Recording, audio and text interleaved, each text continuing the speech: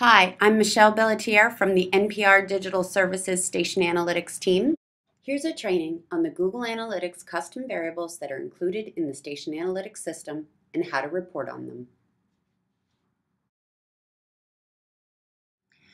Custom variables are additional dimensions that allow you to refine your Google Analytics tracking. Standard dimensions include page URL, page title, source, and browser, or the many other elements that are available under the left navigation in the Google Analytics standard reports. Custom variables allow us to track any additional data that we choose. Author, tags and keywords, page type, category, related program are all custom variables that are sent to Google Analytics in addition to the default tracking when using the Station Analytics system tag. To understand how to find custom variables in reports, it's helpful to understand the elements and syntax. Google Analytics syntax for custom variables is as follows.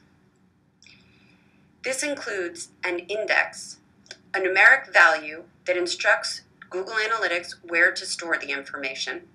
This is also referred to as slot. A name, a text value that tells the users what data is contained in this slot or index. A value, a numeric or text string that contains descriptive information. And the scope, which identifies to Google at what level to store and report the information. It indicates if this data is about a page, a session, or a user. To better understand slot, name, and value, it can be helpful to think of a file cabinet. Each slot is a drawer, or the location where the information is stored. Slot 11 contains both keys and values. The name or key is the folder inside of the drawer that has the information that you are looking for. A single drawer can contain many folders with different information. In this case, key 11 contains author, indicating that the values will be author names. The value of the actual information in value 11 contains Ned Ryerson, or the name of the author. The Station Analytics System tag currently tracks a number of custom variables listed on this slide. Page type is listed as dynamic because it uses regular expression matching that is configured in the Station Analytics system setup to determine the appropriate page type for a given page based on the URL. Other variables use meta tags that are included in the page to capture values.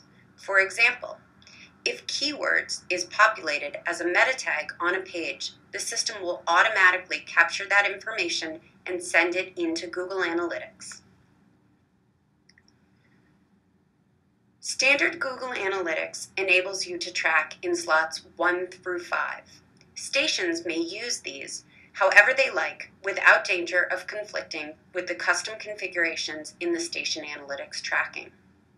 Custom variables 6 through 50 are added with Google Analytics Premium. We ask that if you require the use of additional custom variables, you please contact us to determine which slot is most appropriate for your use. Please remember that sending data to the same slot as another piece of information can cause data to be overwritten, and it is important, therefore, to avoid conflicts.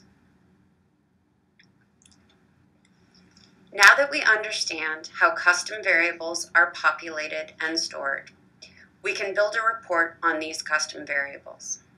It's important to remember that only the variables in slots 1 through 5 are available in standard reporting, although in some cases they can be added as secondary dimensions in existing standard reports. To build a new custom report, we'll need to access the Customization tab and click on New Custom Report. Our first step will be to give the report a name and then select the report type.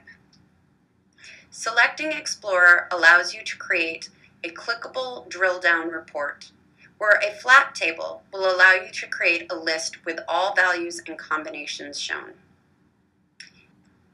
In this case, we'll select Flat Table to create a list of all the values for a single dimension and a report with all combinations of two dimensions.